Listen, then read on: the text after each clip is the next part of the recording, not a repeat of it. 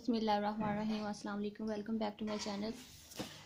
अब हमने 59 क्वेश्चंस कर लिए थे, लेकिन ये जो लास्ट वन क्वेश्चन था, ये क्वेश्चन नंबर फिफ्टी एट इसमें मैंने कहा था रेडियो ऑफ़ जनरेशन के बारे में मैंने कंप्लीट ग्राफिकली ग्राफ भी बाय वर्ड्स भी कंप्लीट एक्सप्लेन किया था रेडियो ऑफ़ जनरेशन क्या होता है with mass four G M and moment of नशा थर्टी टू देन इसका फिर uh, कैसे रेडियो ऑफ़ जनरेशन कैसे निकलेगा इसका जो तरीका सारा मैंने बताया लेकिन अब जब वैल्यू पुट की तो जी एम जी एम से कैंसिल हो गया thirty two over G is equal to eight eight centimetre square which is is equal to a K square then K is equal to square root two C M K equal आ जाएगा। तो के का unit क्या होगा? C M में होगा। हालाँकि देखिए पीपीएससी के क्वेश्चन ने कैसे हमें घुमा के दिया हुआ eight centimetre square to square root two C M two हालाँकि देखिए, हमने बेशक सारी कैलकुलेशन की फार्मूला भी सही लगा लिया कैलकुलेशन भी सही कर ली, लेकिन अब यूनिट में थोड़ी सी गलती होने से ऑप्शन गलत हो जाना था। जैसे मैंने लास्ट टाइम किया भी तो अब के अब यहाँ पे जी एम जी एम से cancel K square is equal to centimetre eight centimetre square then K is equal to two square root two centimetre हो जाएगा। तो यहाँ पे राइट ऑप्शन जो बनेगा, फिर वो two square root two C M बनेगा। Two square two C M next question number sixty देखें neighbourhood of zero under your topology for the real line R is तो सबसे पहले यूर मतलब ये फिफ्टी नाइन तक जो क्वेश्चन थे, वो वेक्टर टेंसर और ये last two second last two ये लिए गए थे मैकेनिक्स से। नेक्स्ट जो क्वेश्चन नंबर सिक्सटी है, ये टोपोलॉजी से लिया गया your topology your topology uh, your topology is a topology that find on the real line. Is called your topology then neighborhood of zero. अब नेबरहुड ऑफ़ ज़ीरो के बारे में पूछा कि नेबरहुड ज़ीरो क्या होगा under your topology for the real line R your topology हमने बतानी कि क्या होगी? नेबरहुड ऑफ़ ज़ीरो के बारे में थोड़ा सा कॉन्सेप्ट मैंने लिखा है थोड़ा सा एक्सप्लेन करने की ट्राई किया। नेबरहुड ऑफ़ ज़ीरो क्या होगा? Neighbourhood of zero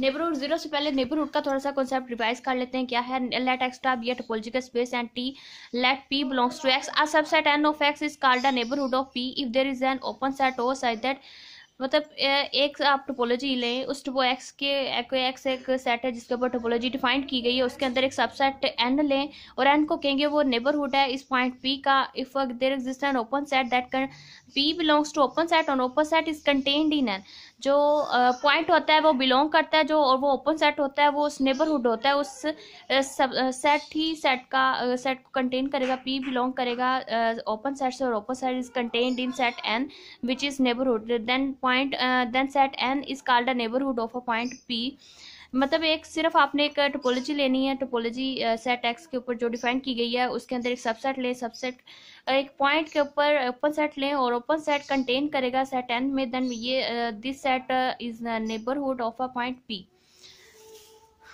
back to the question uh, neighborhood of zero under the your topology for the real line r is.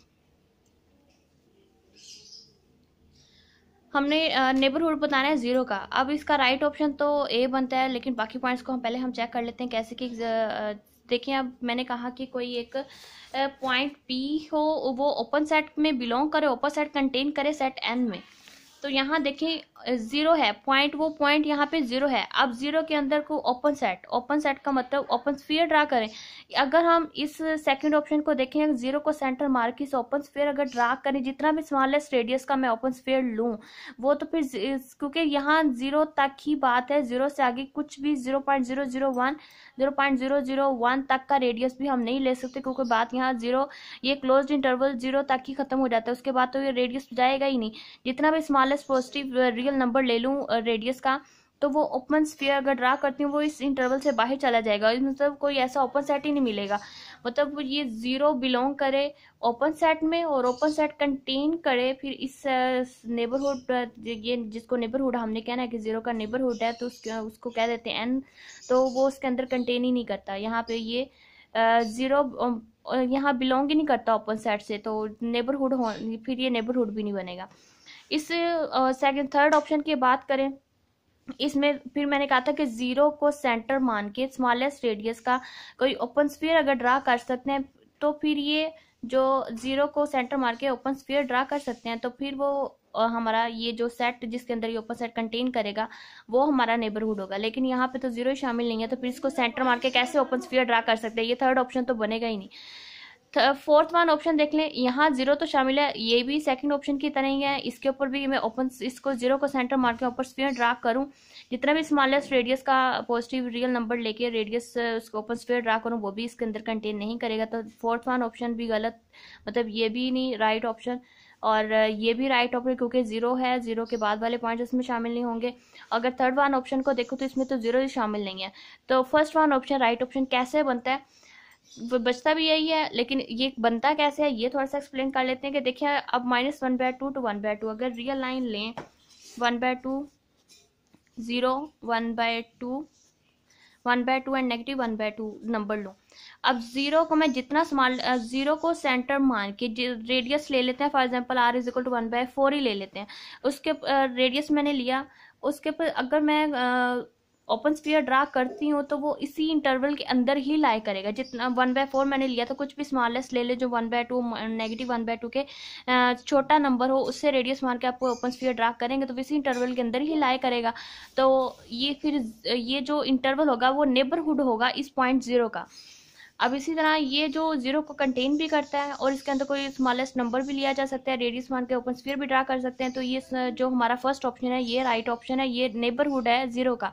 यही हमने क्वेश्चन में पूछा गया था फाइंड करें neighbourhood zero under the U topology for the real line R तो this semi close interval is the neighbourhood of zero first one option is right option कैसे है? ये भी मैंने बता दिया सारा कि वो अगले तीन क्यों नहीं है, ये भी बता दिया क्योंकि ज़ीरो को कंटेन करते हैं तो इसमें का भी स्फीयर नहीं बनेगा, ये भी ज़ीरो को ज़ीरो तक ही है ज़ीरो को क्लोज कर रहा है तो ये भी स्फीयर नहीं बनेगा।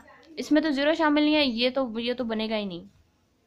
बस एक पॉइंट पी लेना है और ओपन सेट में वो बिलोंग करे और वो कंटेन करे सेट एन में तो ये सारे चेक कर सकते हैं आप भी कि बस स्फीयर ड्रा कर सकते हो तो वो नेबरहुड बन जाता है उस पॉइंट को जो कंटेन करेगा। नेक्स्ट वन और क्वेश्चन नंबर सिक्सटी वन देख लें। Let A is equal to zero one एक सेट दिया गया। Be a subset of R with U Euclidean meter Euclidean metric be your topology की रियल लाइन आर पे जो metric define होती है, उसे यूक्लिडियन मीट्रिक कहते हैं। देन इंटीरियर ऑफ़ ए हमने बताना है इंटीरियर क्या होगा। इसी तरह इंटीरियर जो होता है इंटीरियर से सबसे पहले तो हम थोड़ा सा देख लेते हैं, इसके बारे में इंटीरियर के बारे में। इंटीरियर ऑफ़ पॉइंट क्या होता है? Let A be R subset of R metric space X T then a point X of A there exist an open ball इसमें भी ओपन बाल की बात है कि एक पॉइंट हो, उसमें ओपन मतलब एक पॉइंट फॉर एग्जांपल एक्स ले लें। एक्स की बात हो रही है पॉइंट एक्स लें। उस पर ओपन बाल ड्रा की जा सकती हो।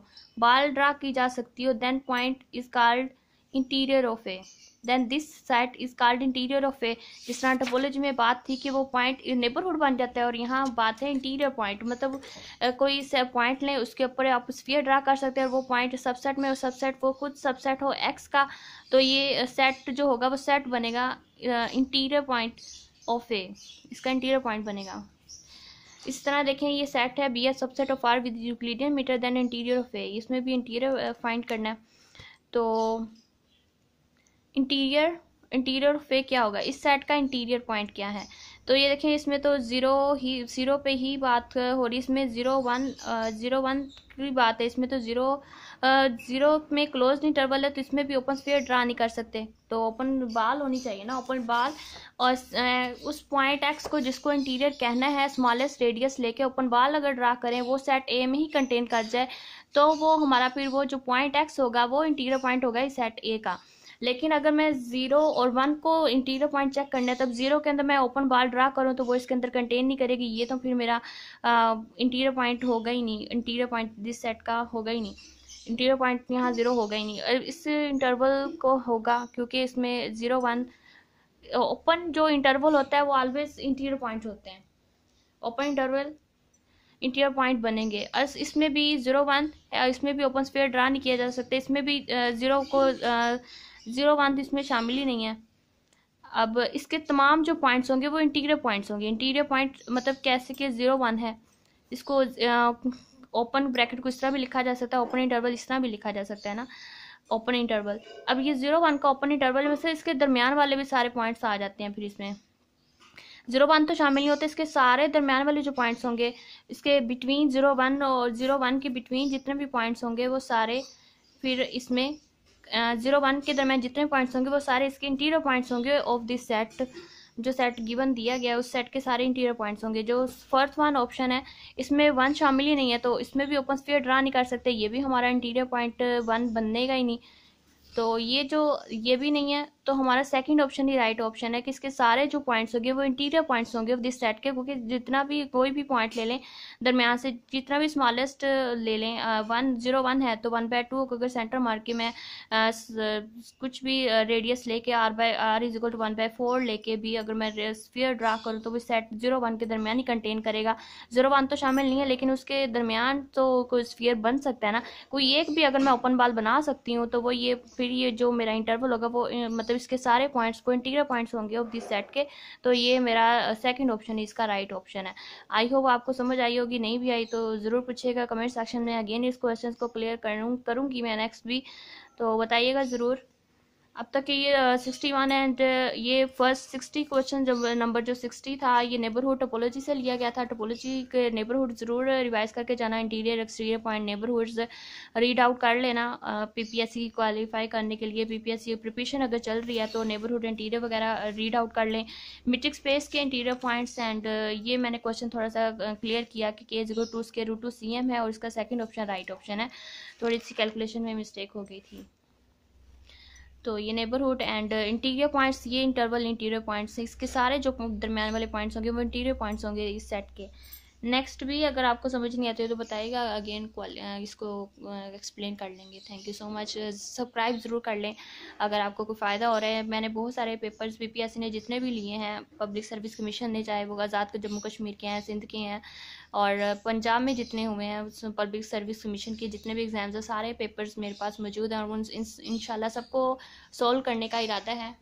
तो आप, अगर आपको कोई फ़ायदा हो रहा है, आप देखना चाहते हैं तो सब्सक्राइब और लाइक ज़रूर करें। थैंक यू सो मच अल्लाह हाफिज़।